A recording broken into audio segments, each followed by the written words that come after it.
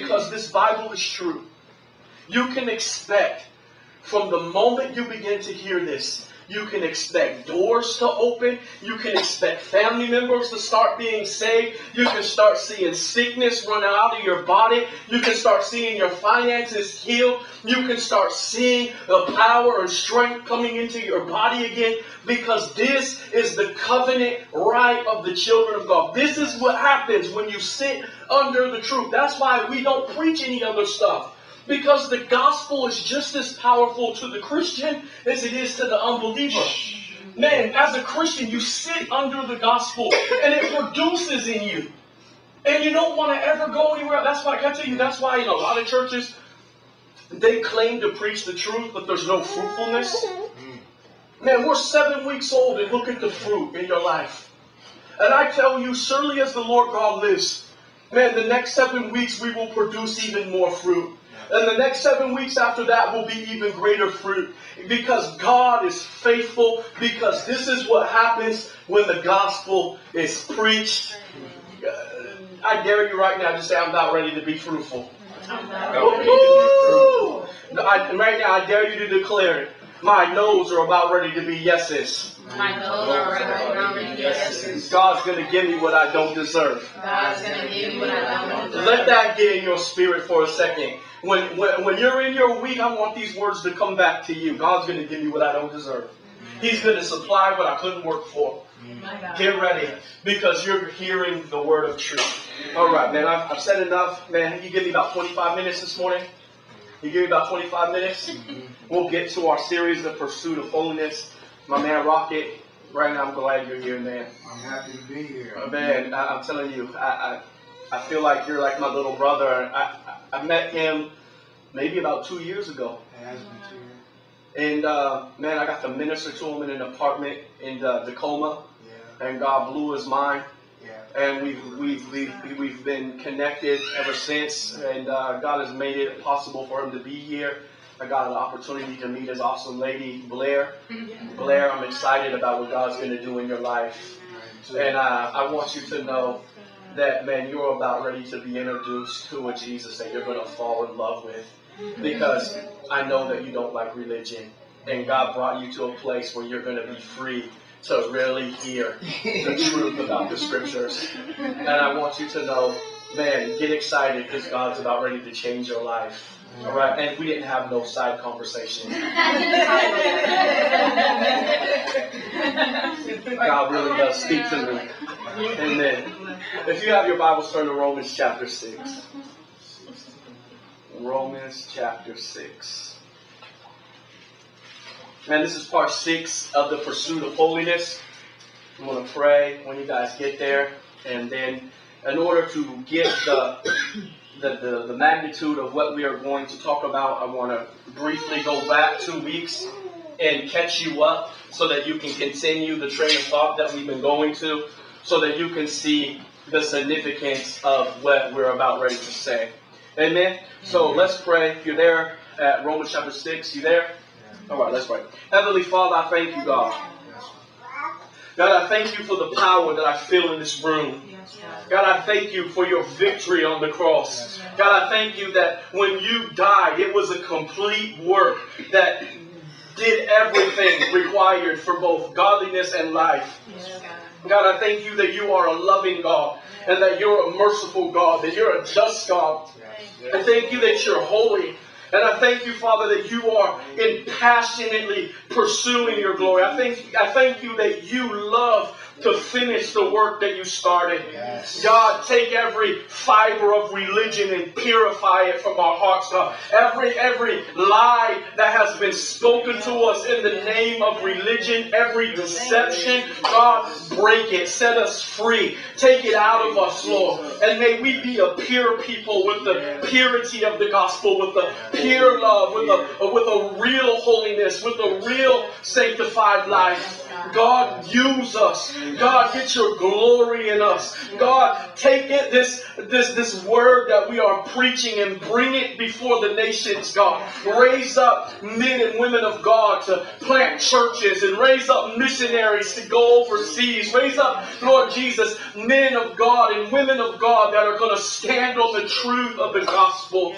God, build this church. Father, you said your church is the thing that you build. And unless you build it, Lord, we labor in vain. Yes. God, now as I turn my attention to the scriptures, God, I pray that you would empower me to articulate and to proclaim this message of truth in a manner that's worthy of it. Father, do not allow me to be a reproach to your holy word. But God, grant me the boldness and the power to preach it. For Lord, my, my hope is not in my cleverness, it's not in my wittiness, it's not in my ability to speak, but it rests in your power, God. God, let your power make us alive. Make this word go into our hearts and change us. In Jesus' name. Amen. Man, if you can't feel it yet, you're about ready to. I feel the power of God in here. Uh, Romans chapter 6, verse number 11. Again, this is uh, the sixth um, part to our pursuit of holiness. This, this series is probably going to be about 12 weeks. So we are at the halfway point of what it means to be holy. So many times you sit in churches and you hear people tell you to be holy and they tell you if you if you're not holy you're going to go to hell and they tell you uh, they, and basically what they do is they take the word holiness and they use it to manipulate you they use it to control you they use it to judge you and what this type of thinking does is it produces a whole bunch of Holy Ghost police in the church and all they do is run around and point their finger at you. Oh you got to get that right. Oh I think you got this going on in your life Oh, I seen you at the grocery store buying X, Y, and Z. And, and, and, and so, and people have associated this type of behavior with holiness. And my friends, holiness does not have anything to do with the Holy Ghost police running around pointing their finger and judging each other. The word holiness is a word that means to be set apart for the service of God. Man, and what the church needs is it needs more people that are set aside for them, both in their physical being and in their heart, and where they truly have a cry God, use me. I'm here to do your will. You tell me to go, and I'll go. You tell me to speak, I'll speak. Will you tell me to stop, I'll stop. And what has happened is the church has been filled with the people externally that look holy, but in their heart they're still rebellious to the truth of who God is because they have not truly been set apart. And we are a church where we might not ever look like what the world says we should look like. We might not ever live up to this religious code that people have tried to stamp us with. But in our hearts, people of God, we will be a holy people that are set aside for the work of God. We will be a people that is found waiting in the shadows of Seattle. We will be found in prayer. We will be found with our ears open and our heart willing. God, if there's something you need done, I'm right here. And I know, and we might not be the most gifted people. We might not be the most articulate people. We might not be the most politically correct people. But we will be a people that have been empowered supernaturally by God and His Spirit. And when we open our mouth, though we look simple and though we look uneducated, there will be a word inside of us that will destroy the wisdom of the world there will be a message inside of us that will arrest people's hearts and minds. There will be something inside of us that is life changing and transforming. When we speak, it will put a fire inside of people. When we speak, they'll be, my God, I haven't heard about this Christ you talk about. Amen. We are not just a church. We, my friends, are a movement. We are a people that are going to spread through the earth like fire. We are going to spread through this region like fire, reclaiming this territory for Jesus Christ that He alone can get the glory. Yes. Amen. We are a people of truth. We are a people of conviction. We are a purple and people of purpose and destiny. Come on. And we are a people that will not be denied. We will not be thrown down. We will not be trampled on. We will not be easily discarded and thrown away because God has brought us to this moment in time and He says to us, because of his finished work on the cross, because he has given you his spirit and made you alive unto him, he says to you, you, Emmaus, you, Yeah. child of God, you, son and daughter, you, kings and priests, you, a holy people, you are holy. Yes. Woo! Not because of your work, not because of your religiosity, not because of your outward posture and your outward appearance, but because of a finished work of Jesus Christ. Amen. You Yes. are holy. Come on, somebody. Yes. And as we come to part six of what it means to be holy and what it means to pursue holiness, because true holiness is not something you already are, but it's something you are in pursuit of because God has called me holy, because He has did this great work in my life, because I'm accepted, because I have favor, because I have access, because I am the righteousness of God. Now there's a permission and a freedom for me to live like I've never lived before. There's a permission to walk in a way that I've never walked, where I used to be a slave behind bars and I couldn't get free. Now I'm free and I am a man on a mission. You are people on a mission so the world will know publicly what he has already did in the secret part of your innermost being. Get ready, church. You're about ready to come out. Yes. Woo! Uh, let's get to the scripture. Romans chapter 6, starting at verse number 11. I want to look at just one verse to start, and then I want to do some review, and then I want to lay the foundation of where we're going. I want to show you what it looks like. Are you ready? Yes. Romans chapter 6, verse 11. Likewise, you also reckon yourselves to be dead indeed to sin, but alive to God in Christ Jesus. The key to pursuing holiness, the key to growing in holiness, the key to really experiencing the full measure of your holiness is found within the mystery of verse number 11. It's found in the awesome reality of counting yourself, declaring yourself dead to sin, but not just dead to sin, but supernaturally because of the indwelling Spirit of God, I have been made alive unto Him. Yes. Woo! See, religion teaches you how to be dead to sin. But it does not equip you and arm you with the necessary understanding so you can be alive unto God. See, a lot of people in a lot of churches, you hear them talk about dying. And the church needs to get past dying to the world, dying to sin, dying to lust, dying to worldliness. And we need to move past that and get on to living holy, living righteous, living in power, walking in love, walking in forgiveness, walking in a manner of freedom and purpose and destiny. And it's right in this place. Do I want to rest the next 15 or 20 minutes and really drive home what it means to live unto God? Come on, somebody.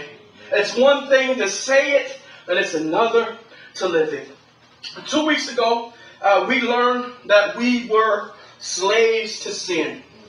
Uh, we, we learned that not only were we slaves to sin, but in slavery we committed our sins. We visited the words of Jesus when Jesus said, The man who sins, the reason why he sins is because he is a slave to sin. Sin is not something that you ever truly have the freedom to choose not to do it or choose something else because in your sinful nature, the nature that you were born because of fallen humanity, because of the fallen creation, you were born under the weight and the law of sin. And the reason why you did the things that you did, and the reason you do the things that you do is because, my friends, you are a slave. You're bound up. Uh, the church is trying to tell you that you have a free will in this place, and it's your responsibility to simply choose to be better. You need to choose to live better. You need to choose God. But my friends, the problem with this horrific and heretical teaching of free will is that, my friends, Jesus said you are a slave. And my friends, how can you have a free will when you are a slave? Uh, by definition, a slave has had his will suppressed that his will is no longer his own, but someone more powerful, someone stronger, someone greater has inflicted and imposed their will on their life. We learn that the person doing this is, the devil in Ephesians chapter 2. We, we, we read that it's the spirit of the prince of the air who, get, who has, has controlled you by his spirit and, and, and, the children who are disobedient, they're disobedient because they're being controlled by the devil. So when you are being controlled by the devil, you, my friends, you are not free, but you are a slave. We developed uh, in this place of slavery sinful habits. Uh, regardless of how good we were trying to be, we learned that we are stuck being the very thing that we despise. We, we found ourselves with no power, no permission, no strength to really bust out of the bondage of sin and really to begin to live free. This is the reason why so many of us have been without joy. This is the reason why so many of us have never known peace, why we've never known love, why we have never been able to enjoy life. And this is the reason why, is the reason why is because you're stuck, you're controlled, you're enslaved. And even if I long to be better, I couldn't be better. And even if I longed to quit, I couldn't quit. And I'm stuck in this place and I don't have the freedom to get out. And what happens is, is in that message, I developed the idea that we have been sinners so long that our identity and who we are has begun to be defined by our place of slavery.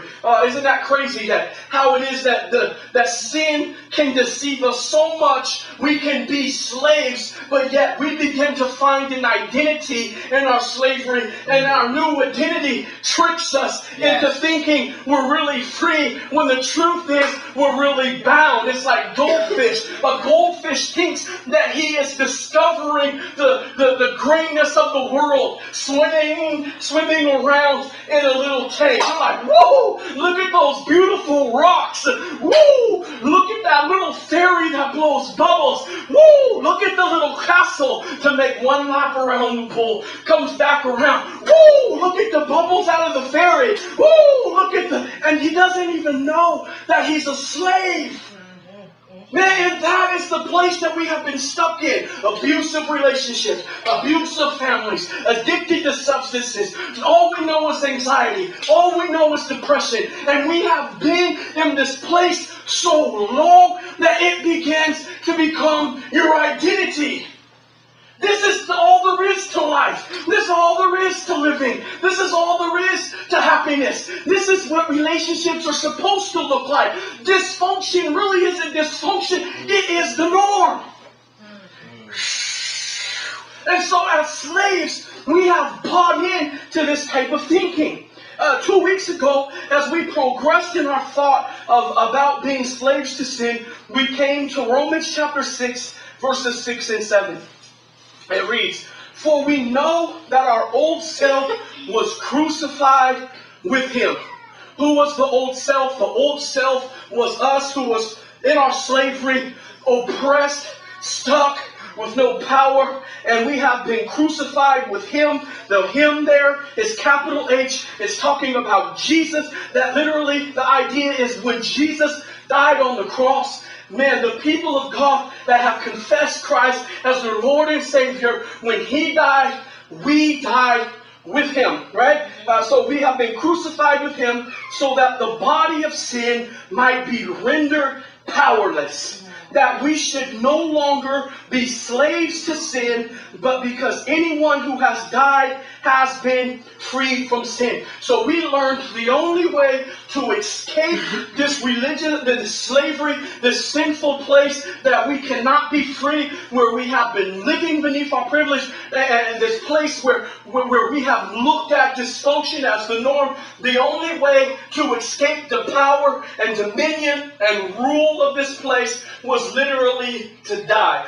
That's when I began to talk about two weeks where you can run and you can make yourself look better, but when you take your shirt off, you still are branded as a slave. And it doesn't matter who what you pretend to be. It's not, it doesn't matter what you try to act out. You're always, when you come to that place of nakedness, when you come to that truth about who you are, you've been branded and identified as a slave. But when you died, that flesh began to fade away.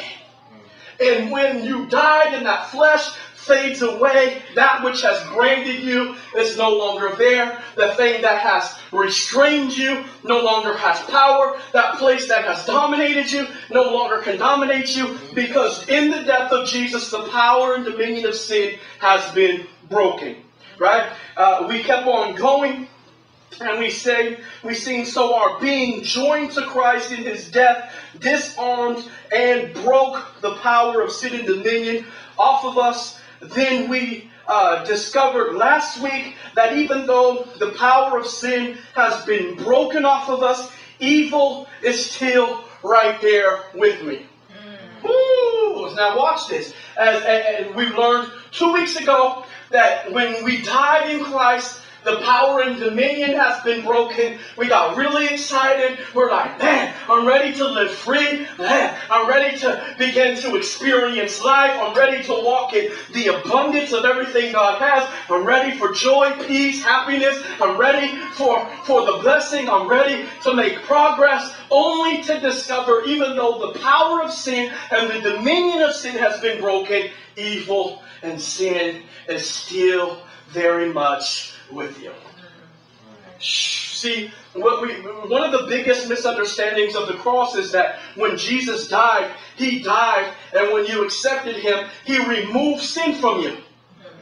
Right? And they tell you that's what being free from sin means. It means that you are without sin. And what religion does is they capitalize on this misunderstanding and they teach you by doing the right combination of religious disciplines, you can get to a place in your life you can be without sin right? Sitting in the right church under the right leader with the right revelation, with the right amount of prayer time, the right amount of fasting, combination with the right amount of worship mixed with the amount of prayer and a little bit of accountability, and you get the mix right.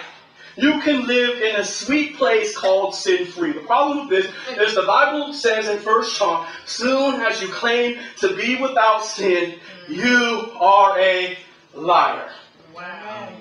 So preachers are trying to get you to a place so you can be the ultimate liar. They're teaching you how to pray, fast, read, promising that you can be without sin, just so you can look at God and have God say, "You liar, sin is still with you." We got this. We got this uh, from Romans chapter seven, verse twenty-one. Uh, last week it says, "This is the Apostle Paul again." He says, "So I find this law at work. When I want to do good."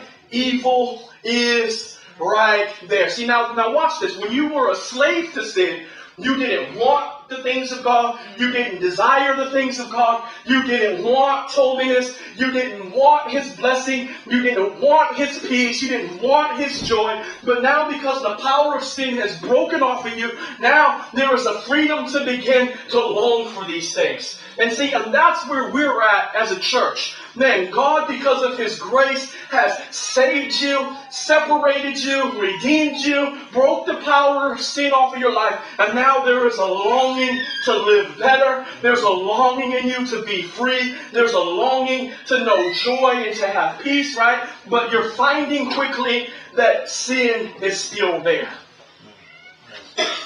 Right?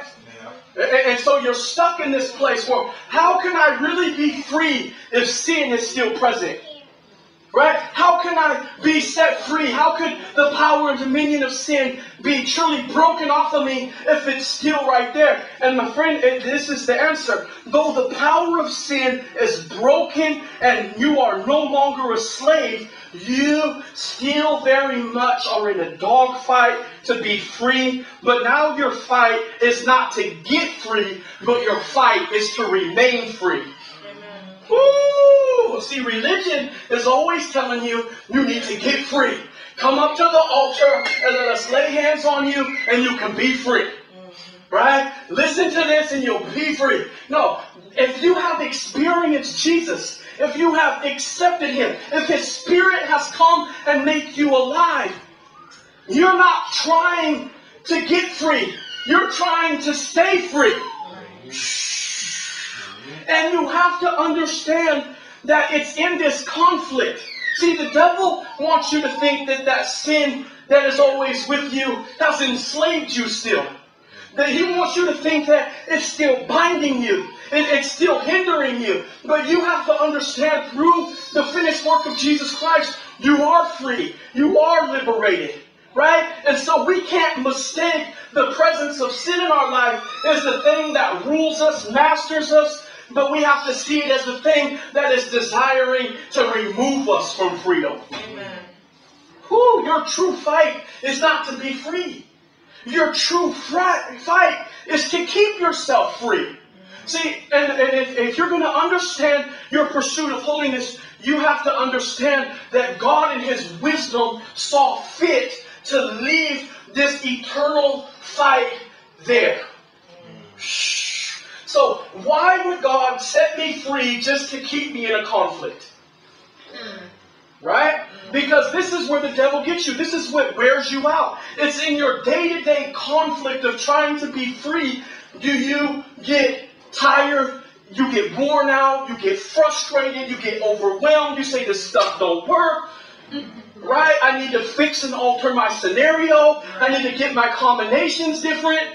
Right? And some people even say, man, I tried this God thing. It's not what it says it is. God's not real. I don't believe. Right? So what does it mean to be alive unto God? Watch this. What does it mean? Though we are in an everyday dogfight, God hasn't left us in a state of neutrality. He has delivered us from sin's reign, and now we have been brought into the reign of his son. Listen, when, when you have became alive unto God, this is what he's saying, because of the finished work of Jesus Christ, you not only are not just no longer a slave to sin, but he has taken you all the way out of that place and now he has anchored you in a place where you're a slave of righteousness. See, God didn't just take you out to leave you neutral, and, and you don't fight this fight in a neutral place. You don't fight this fight against sin in a neutral place where I'm trying to gain God. I'm trying to gain His favor. I'm trying to gain His his blessing in my life, but He has taken you all the way from extreme right and then put you all the way extreme left. He has brought you all the way out of the world, all the way into the kingdom, brought you all the way out of unforgiveness, all the way into forgiven, taking you all the way out of sinner, all the way to holy, taking you all the way from a slave, all the way to a son, and now it's in this place of being in the presence of God. Does the devil try to remove you from sonship, remove you from blessing, remove you from joy, remove you from peace? So you're not in a place to get that stuff, but you're in a place to experience it. Yes. Right? So, so, when, so you're not in a neutral place. Man, what does it mean? He, uh, uh, I want to read this to you. It says, You're not just dead to sin, but you're alive unto God.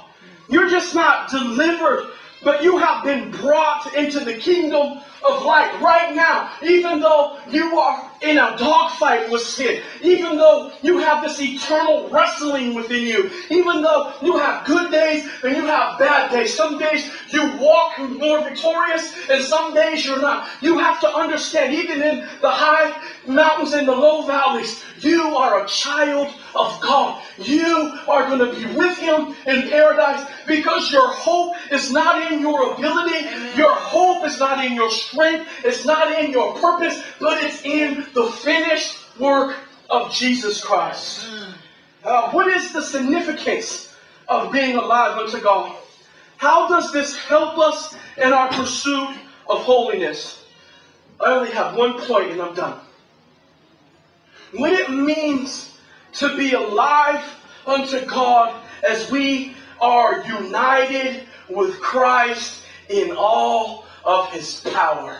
When I was dead in my sin with no power to come out, and he's brought me all the way out where I'm no longer a slave to sin, but now I'm a slave to righteousness. One place I didn't have no power, and in this place, the fullness of God's power as at work in me. Uh, before I was broke and I couldn't do it, but now the full measure of His strength is at work, keeping you, sustaining you, living through you, quickening you, even when you wanted to sin. Him in His power wipes the table and makes it so the people you sin with won't call you back. Yep. The people you drink with won't Yep. call you back. The people you get high with will become your enemies.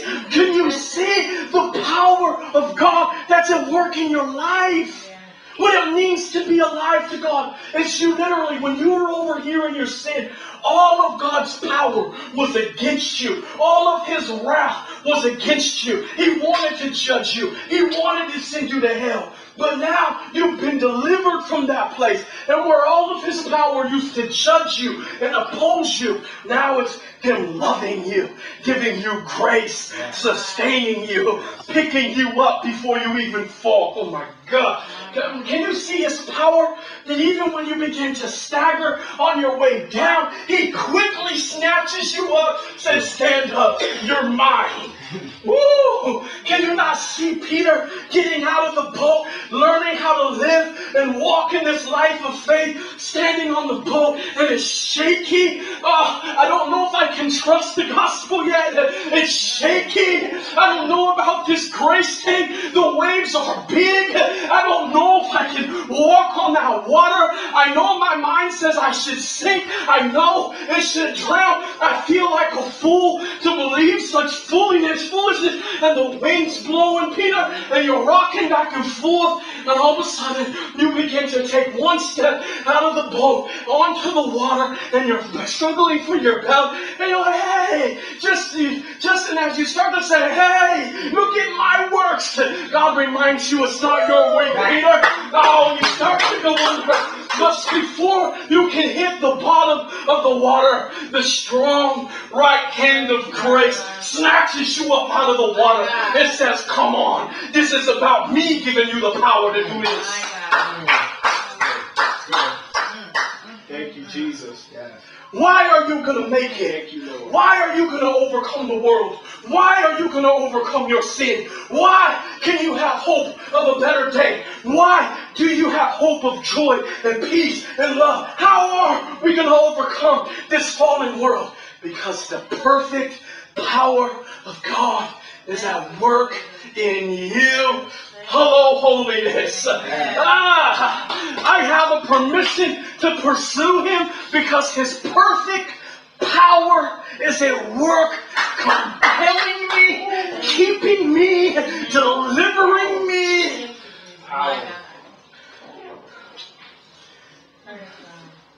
Why do you need to hang out? Why do you need to hear the gospel? The Bible says, because the gospel is the power of salvation to him that believes. How do you experience this place that I'm talking about? Sitting under the truth of the gospel. You are not going to, oh, see, religion says this. I'm not even going to finish. Religion says this God wants to empower you so you can do the work. Hmm. Christianity says your power is because I'm powerful in you. Hmm. And your power, it cannot be measured by your own works and your own feeble attempts. But the truth of the source of your power, that is me at work in your life. I am the power in you. I am the strength in you. I am the one that overcomes in you. I'm the one that's going to take you home. I'm the one when you should fall down keeps you standing. I'm the one before you can be bankrupt keeps you blessed. I'm the one. My power. The Apostle Paul said, Christ in me is my hope of glory. Because he's in me. He abides in me. And the fullness of his power is at work in me. I have hope of eternal life. Because you could be the strongest and most powerful person in the world. But my friend, you don't have the ability on that day when the trumpet blows to lift yourself up off of this earth and join him in the sky. It's his own power that will bring you to where he is. Why can you have hope today and you're fighting in sin? Because you're not fighting in your own power. Yes. It's His power that's at work in you. Why are you going to be victorious? because all of your strength is gone. Can I tell you there's a reason why you failed so much? There's a reason why you've compromised so long. To show you it's not in your strength. So that you can know the fullness of His power. That's why the Apostle Paul said, When I'm weak, I'm strong. Not a strength and power because of himself, but because of God. This week, you're going to know the power of God.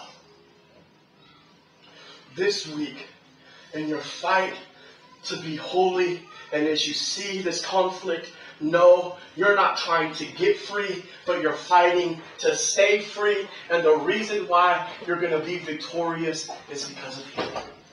Amen. Let's pray. Heavenly Father, I thank you for this word. I pray, Lord, that you would drive it home, that you would make it plain. I pray that, Lord, you would quicken our hearts to know the fullness of your power and your glory that's at work in our life. I thank you that we are not a people, Lord, that's trying to overcome the world. But I thank you, Lord, in you we already have overcome the world. Empower us, Lord, to live holy. In Jesus' name, amen. Wednesday, 7 o'clock.